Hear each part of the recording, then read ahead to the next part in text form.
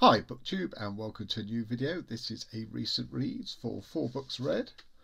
Bessarabian Nights by Stela Brinzeanu, a novel from Moldova, although she, uh, since the age of 18, has lived in the UK. And this is written in English originally, not in Moldovan.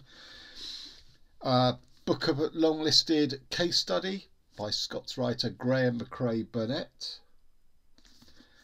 Anthony Marra's third novel, Mercury Pictures Presents, just released, and a novel from the 1960s, Genoa, a telling of wonders by Paul Metcalf.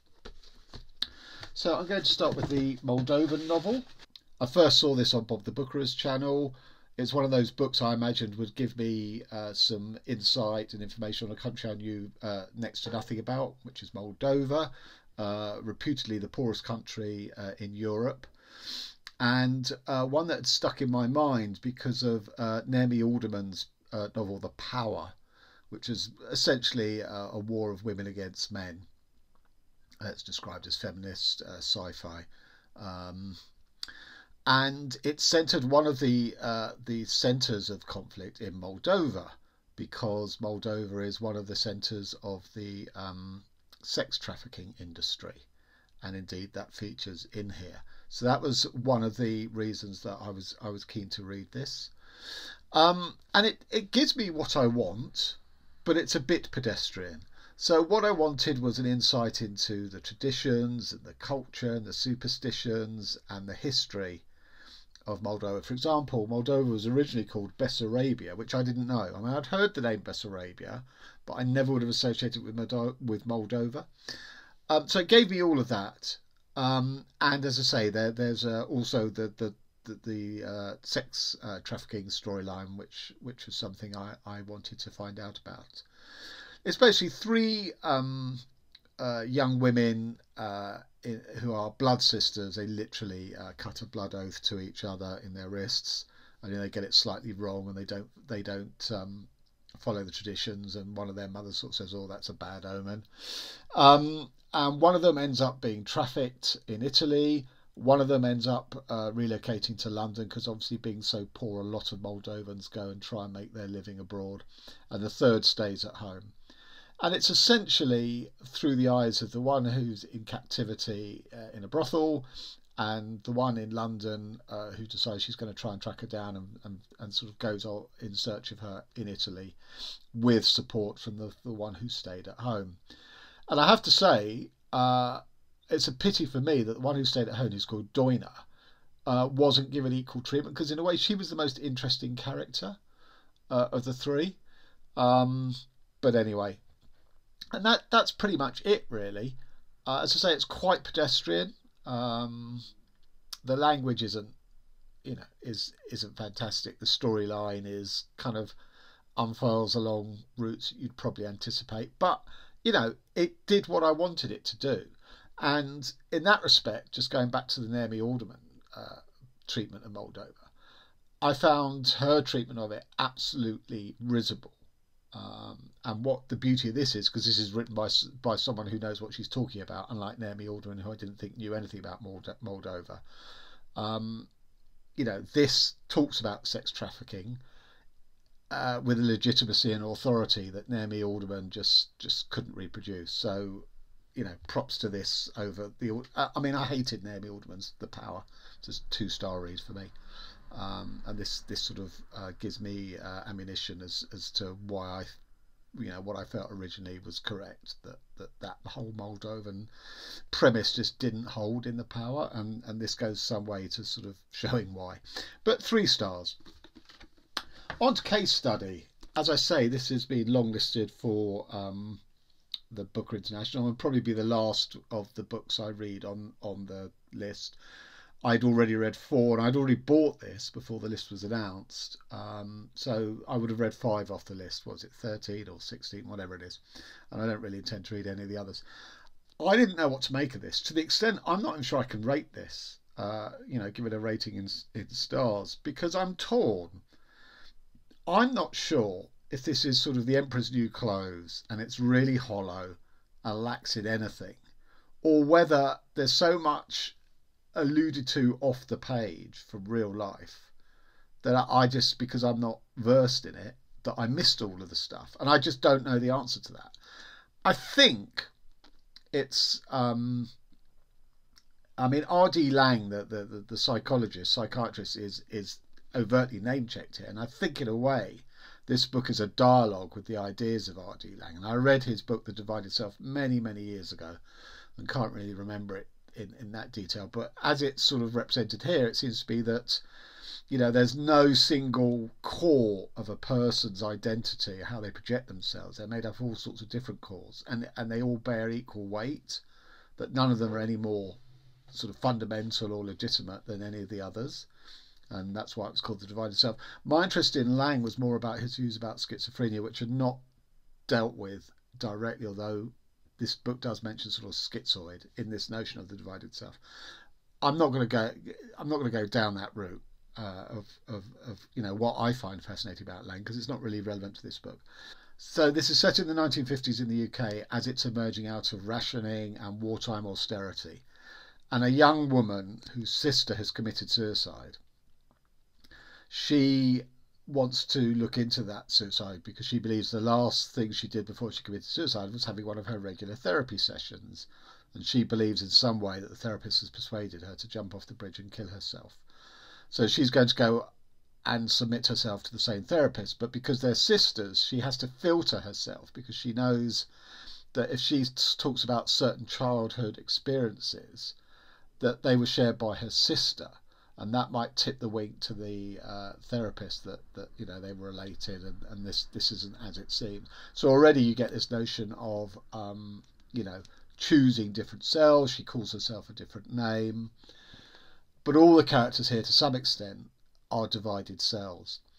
And the book starts with uh, a preface where the author of the book perhaps Graeme Macrae Burnet perhaps a fiction perhaps a fictional author is contacted by someone saying, I have this box of um, journals uh, from the woman who turns out to be the, the, the, sister who's going in search of, of the therapist.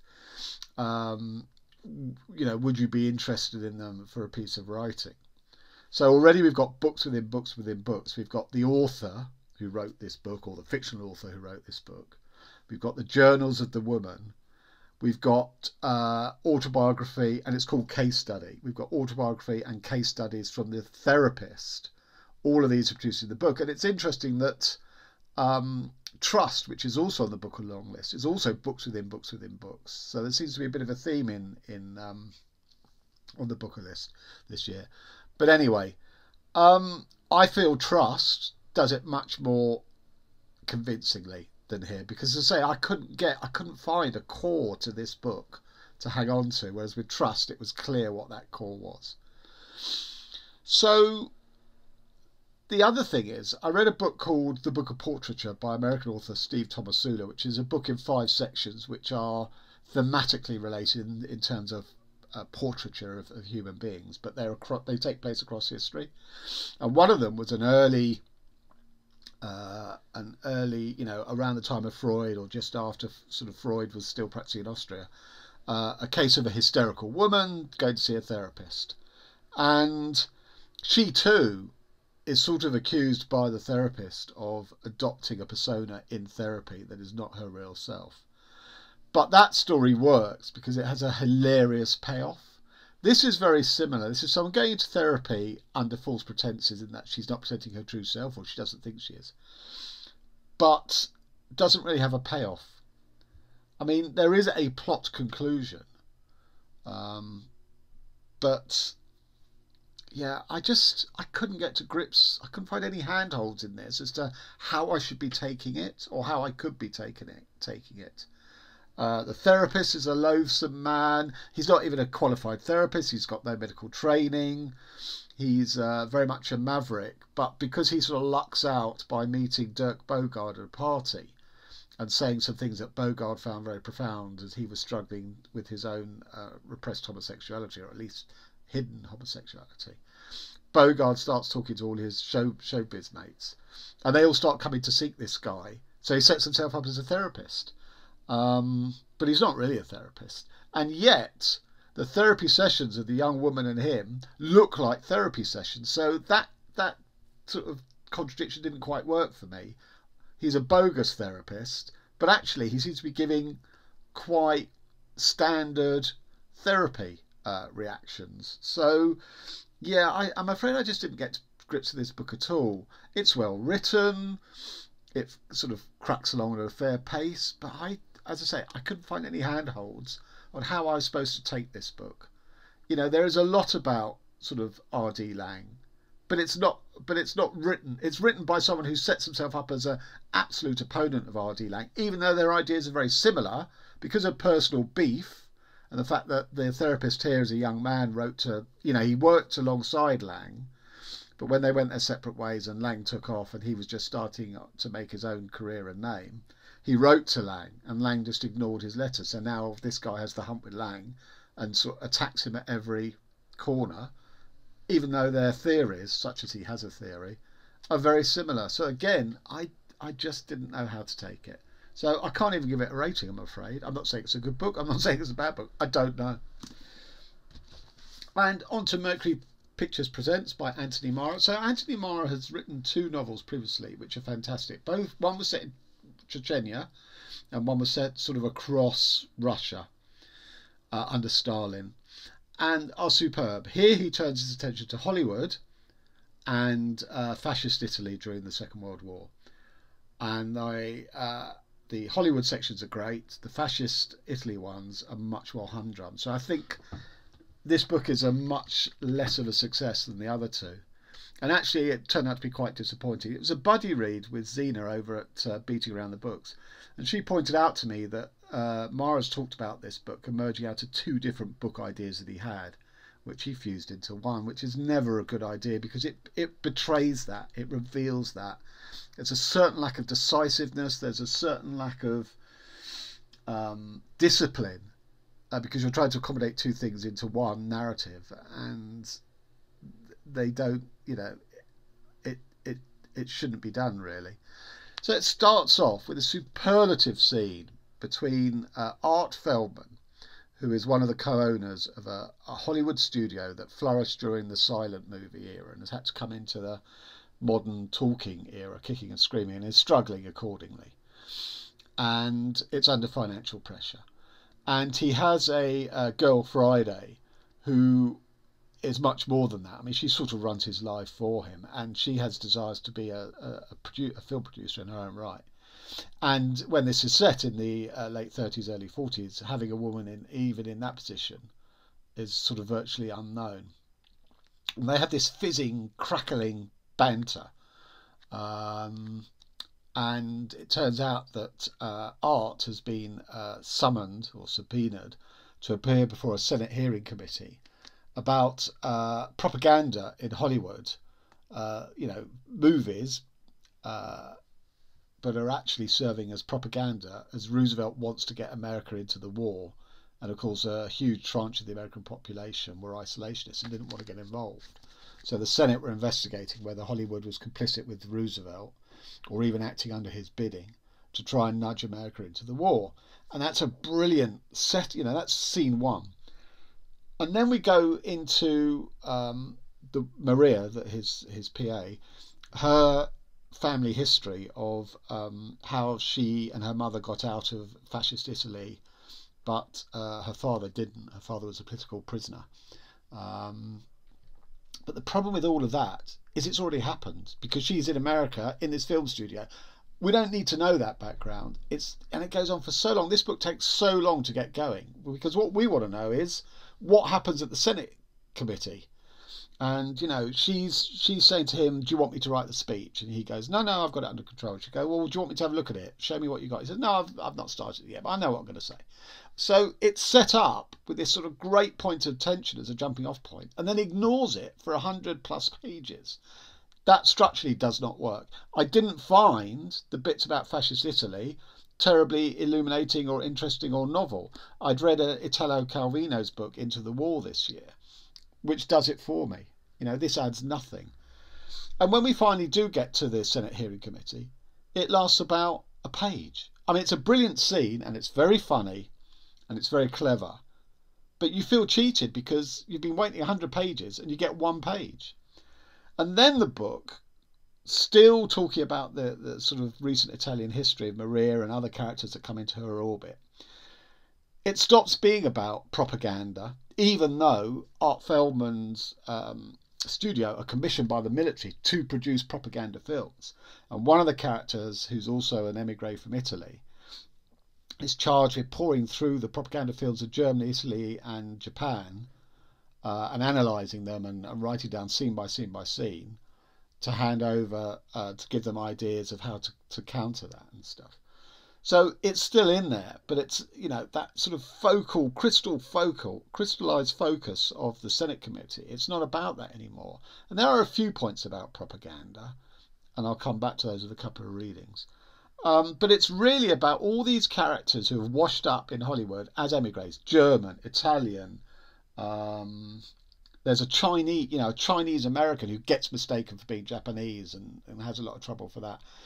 And we get each of their individual stories of you know what it's like to be uh, an immigrant and and and basically an alien. You know the, the the german and italian characters are under legislative prescription. You know they can't go more than a few miles from where they're based and and they have to surrender all their cameras and and all of this stuff but it, each one has left behind something or left somebody behind and they're you know they're racked with guilt and I just thought that was really clumsily set up by Marra. So Maria's got, you know, a guilt thing that basically she's responsible for her father ending up being caught by the fascists. It was heavy handed. I never really believed it. Um, this guy who's looking through the propaganda, he's got a guilt thing uh, back in Italy that he's left behind a, a, great secret. One of the most interesting characters, who's called Anna, who's a um, she was an architect in Nazi in Germany. But when the Nazis came to power, she was given a choice: work, you know, build buildings for the Nazis, or or you know, your career is ended. And she refused, even though her husband was a you know gleefully joined the Nazis. She refused, and her and exactly what happened is her career, you know, bottomed and tanked. So she goes over to America, where she's building miniature sets in this Hollywood studio. She too has a great you know secret that she's left behind. It's just too much. Every there are too many characters with too many you know subplots about what they've left behind and their guilt that I just wasn't engaged with. The best bit of writing, and bear in mind, one of the things about Marra that I love from his first two books is his writing, and there's not that much writing up to that level here, except there's one point where two extras from the studio, uh, from the studio, who've always played you know scenes where they they get killed off. You know they're, they're they're the guys in the background who get shot or whatever. So they've died a thousand times. They gleefully enlist which i didn't actually buy but anyway. And they're the only two car- two uh, members of the studio on its sort of board of remembrance who die so they get to die for real uh, everyone else, you know, the others who either got um, conscripted or enlisted, are wounded and pranged and all that sort of stuff. But these are the only two who die, and that was poignantly and beautifully written. That, but that's the only scene in which I felt genuinely moved here, which again I found disappointing given his track record. Um, so I'm just going to read two little bits because I feel there was a, actually another novel in here that that could have been developed in a much more interesting way and and wasn't really. Um, so Artie is watching a propaganda film or an anti-Japanese propaganda film that his studio have been commissioned to to make. He's watching the the first uh, uh, raw cut of it. As he watched, Artie felt called by contradiction. Conspiracy was one of Hollywood's most reliable plot engines, but by encouraging audiences to accept the plausibility of conspiracies in peacetime, had Artie primed audiences to see enemies everywhere in war. Weren't these stab in the back fantasies as perverse as any found in German propaganda reels? And weren't fears of fascism coming to America borne out by the concentration camps going up in the Californian desert, which was for Japanese interns? So the bit of that I just want you to hold on to is um, by encouraging audiences to accept the plausibility of conspiracies in peacetime. So just hold on to that. And then we come to Anna, who, as I say, was this sort of miniaturist uh, uh, scene designer. She's been conscripted by the uh, American Army to build a a one-to-one uh, reconstruction of an area of Berlin because the, the military want to see what's the most efficient way to cause a firestorm. So they have the exact materials that the buildings are made of, and she's charged with things like you know getting the curtains right and and all this sort of stuff. If we are to burn if we are to burn Berlin over there, we must learn to burn it over here.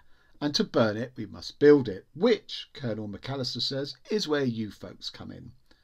Sonnenthal raises a hand. I'm sorry, Colonel, you want us to build Berlin in Utah. Not all of it, naturally. A representative neighbourhood. Blah, blah, blah, blah, blah. The firebombing campaign will target neighbourhoods like Kreuzberg, Wedding, and New Neukölln, communist strongholds during the Weimar years, where even today you might not find a dozen Nazi Party members amongst its tenement blocks. Were there any justice, the air raids would target Wannsee or Grunewald, but the Nazi brass live in villas too sparsely distributed to warrant area bombing runs. Densely populated urban centres where multi story tenement blocks predominate offer the highest return on investment, but even these rental barracks prove vexingly fire resistant.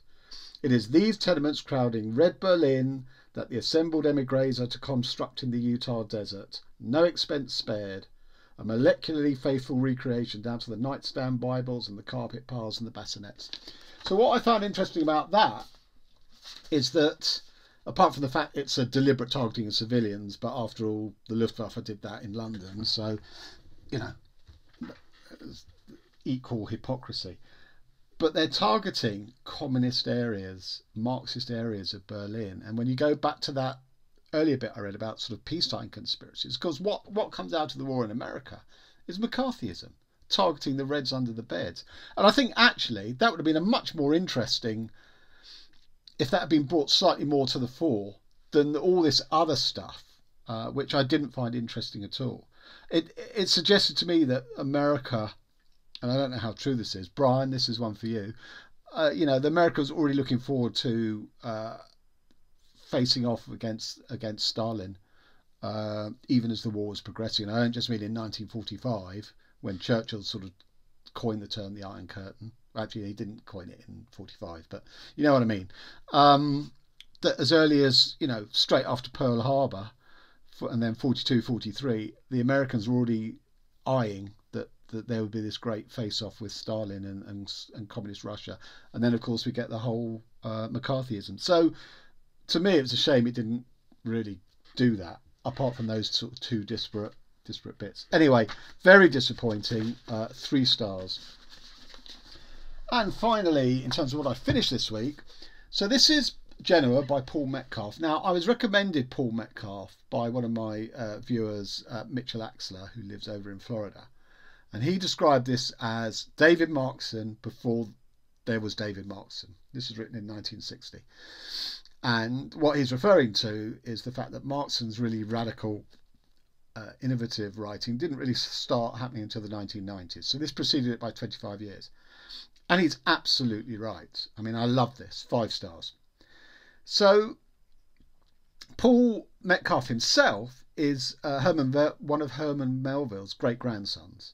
So, uh, and that that does sort of inform this book. It's simply about uh, a family father who lives in Indiana in a fairly remote um, old building that his grandfather had built on the on the prairie. Um, his wife is out on her shift at work. He's at home with the kids, looking after them. So he cooks them dinner. And then he sort of parks them in front of the TV to, to be the babysitter while he goes upstairs into the attic where his books are. And he's just contemplating. And what he's contemplating is uh, again, there is motion, this time with awe and terror. For whatever my condition, the condition of thought and flesh, the reality in which I am formed and deformed, in which I am known to myself and to others, all is become mutable. He's considering his own thoughts and his own body, his own flesh, and the way he does that is he's referring to uh, the, the writings of, Herb, of Herman Melville, his novels and his letters, the journals of Christopher Columbus, and a medical textbook because he once, this character once studied medicine.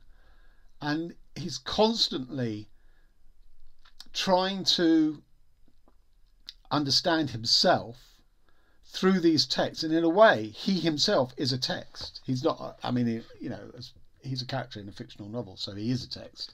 He's not a real person, but he's written as if obviously he is a real person.